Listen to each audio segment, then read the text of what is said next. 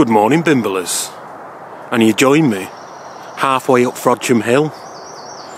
We've got some unfinished business here in Frodsham. So we've come back for Frodsham 2. I'm halfway up the hill. I may as well get right up to the top. So let's stop messing about. And let's bimble.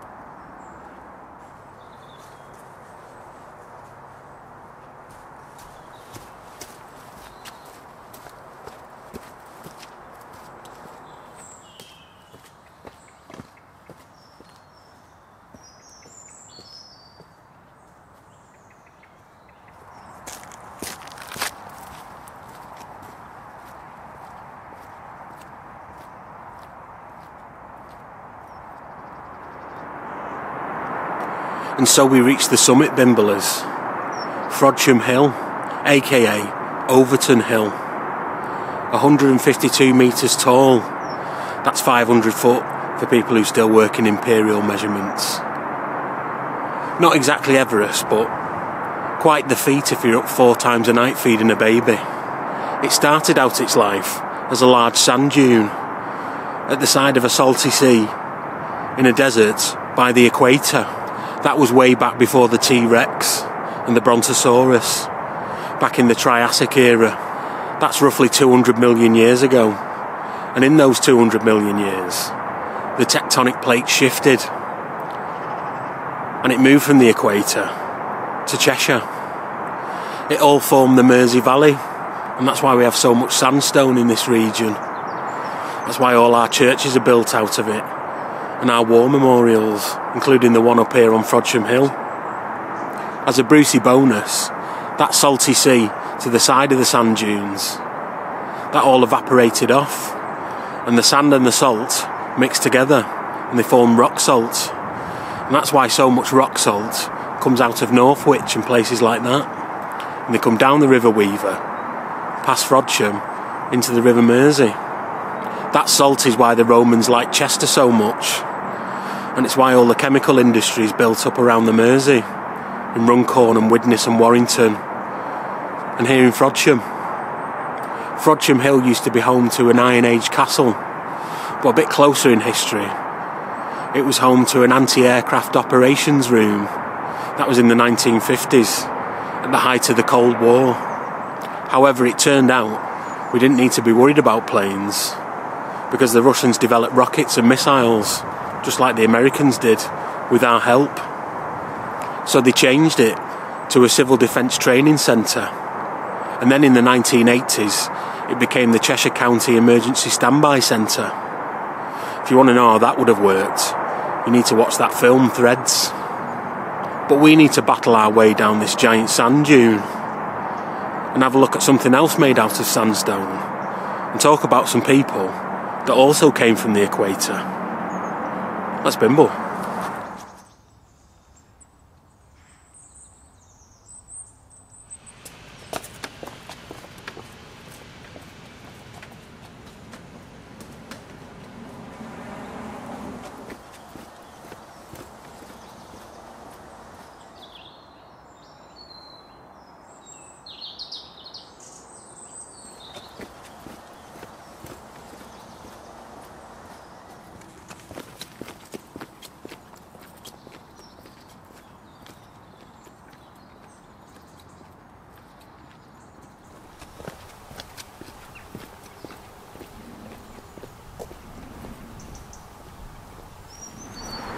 And so we reach St Lawrence's Church, a classic piece of church design, built out of sand from a Triassic era desert that used to be on the equator, which somehow found its way to Frodsham.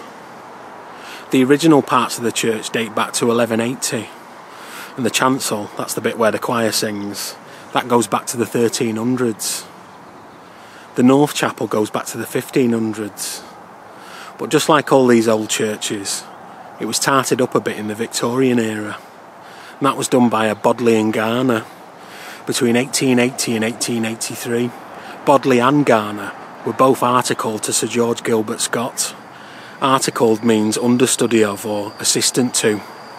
George Bodley was actually a family friend of Sir George Gilbert Scott. And when Sir Giles Gilbert Scott, that's Sir George Gilbert Scott's grandson, was tasked with building the Anglican Cathedral in Liverpool, George Bodley actually overseeing what he was doing. That was because Sir Giles Gilbert Scott was only 22 and the cathedral was actually his first project. Imagine that. It's absolutely massive. You can see it from the top of Frodsham Hill. One curious piece of history at St Lawrence's Church is one of the graves.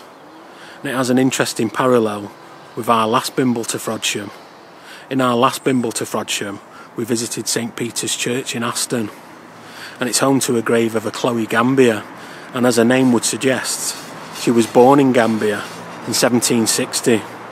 When she was seven years old, she was sold into slavery, brought over to Liverpool, and she was bought by the Aston family. No one's quite sure why they bought Chloe. She wasn't going to be much use around the house, she was only seven years old and she certainly wasn't going to be much use on the farm. But she spent 70 years with the Aston family. She became their housekeeper. And at 70 years old, she died of breast cancer. That was in 1838. And they had Chloe buried next to the family at St Peter's Church in Aston. A grave here at St Lawrence's Church is separated by only 44 years. And that's to a Prince Waribo. He was the son of an African king, King Jaja. He would have come from Africa, from the same location that Chloe Gambia did. That would be Bonny in Nigeria. Only Chloe Gambia was sold as a slave. And Prince Waribo was the son of a king. How did he end up here in Frodsham? Let's bimble and find out.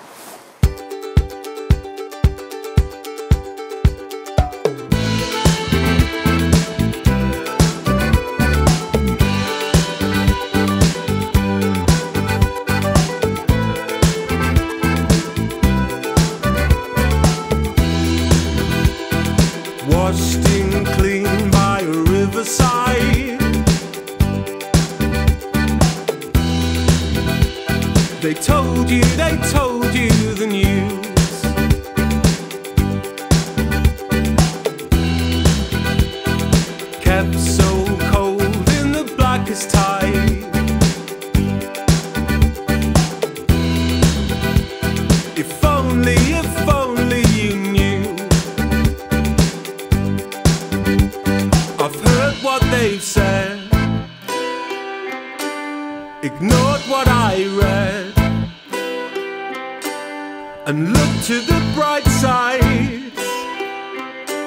So here's to the bad times, forgotten in good lights. I won't, I won't, I won't let you down.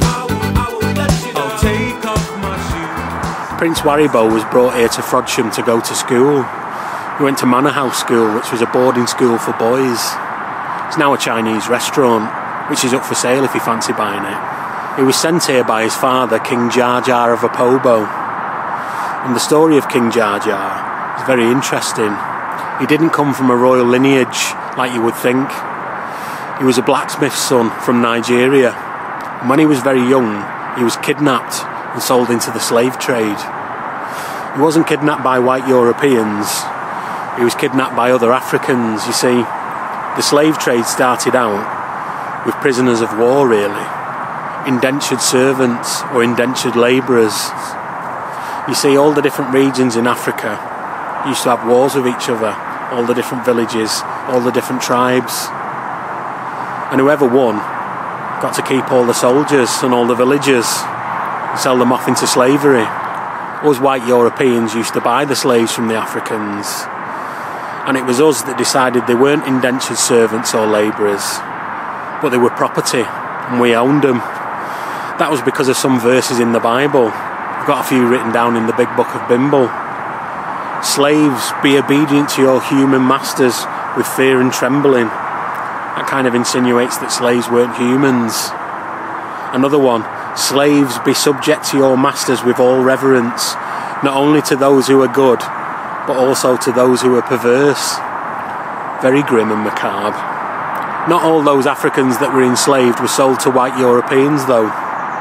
The people of Nigeria used to keep slaves as well.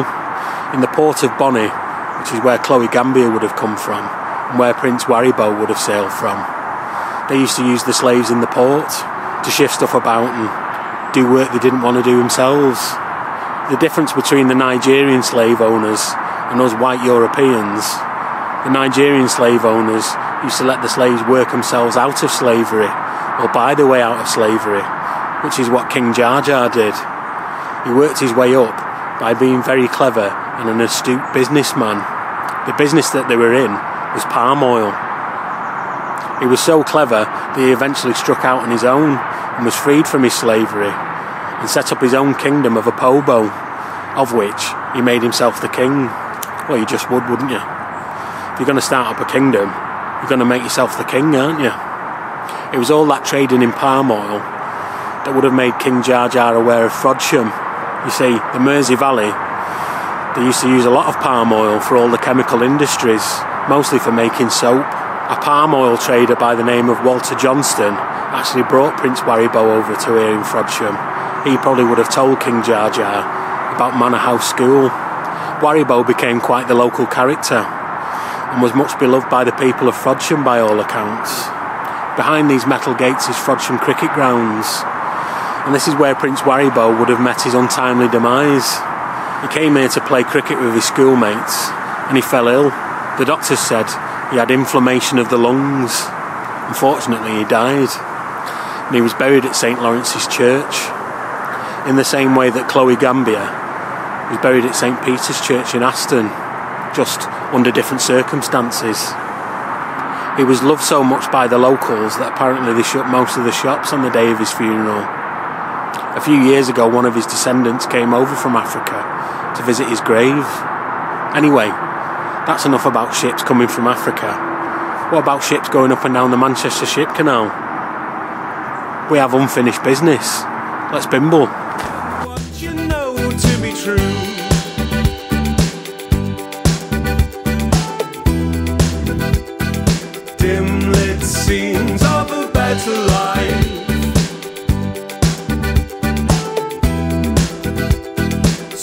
Spoken in loud tones to you.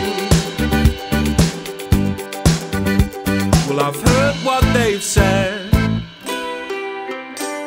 ignored what I read and look to the bright side. So here's to the bad times forgotten in good lives. I won't, I won't, I won't let you down.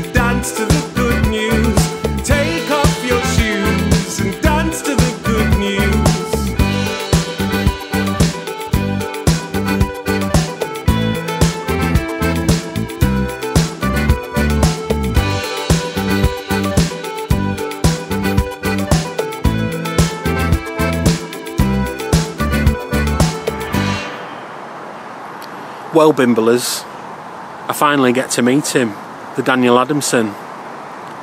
In our original Bimble to Frodsham, we were supposed to meet him then, but he wasn't in. Apparently, he was being fixed in Birkenhead. So I told you we'd come for Frodsham too, and that's what we've done today. Anyway, here's my spiel about the Daniel Adamson. Daniel Adamson was born in County Durham. He was the son of the landlord of the Grey Horse pub, and he was the 13th of 15 children. No telly back then, you see. When he was 31, he started his own business in Newton near Hyde. It was an ironworks, and they specialised in iron boilers for ships like this and for steam trains and things like that. Most of them featured Daniel Adamson's patented anti collapsive flange seams. But that's not why he gets a boat named after him. It's not because of his anti collapsive flange seams. He was an early champion of the Manchester Ship Canal. In fact, the first meeting about the Manchester Ship Canal was held at his home in Didsbury.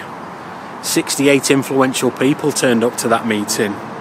Edward Leader Williams, the chief engineer of the Manchester Ship Canal, the mayor of Manchester, and all the mayors of all the towns that the Manchester Ship Canal would pass through. So the mayor of Runcorn and the mayor of Widnes and the mayor of Warrington, the mayor of Irlam and the mayor of Salford. Daniel Adamson was the chairman of the board.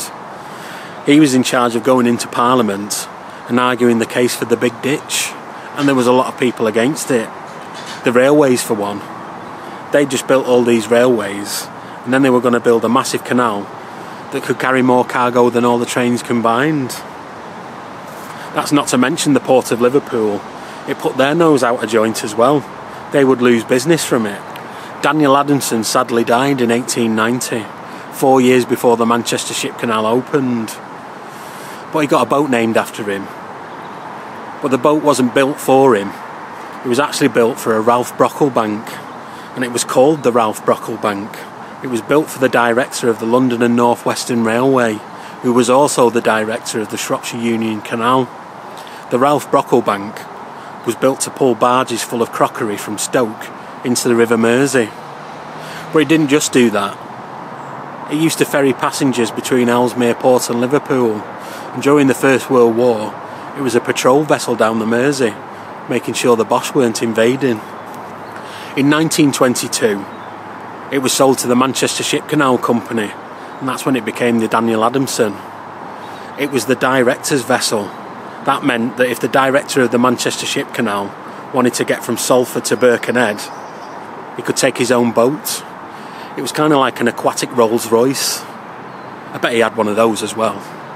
In 1984, it was decommissioned and it was given to the National Waterways Museum in Ellesmere Port. You know, I love that. It's one of my favourite bimbles. But in more recent times, they've tarted it up a bit. They've fixed the engine and made it seaworthy again and it goes on all kinds of nice trips down the Weaver Navigation, up the Anderton boat lift, or down the Manchester Ship Canal on a gin cruise. I'm glad I've met him.